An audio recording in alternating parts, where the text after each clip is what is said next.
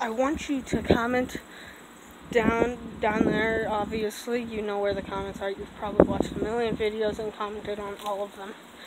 Not all of them, but a few.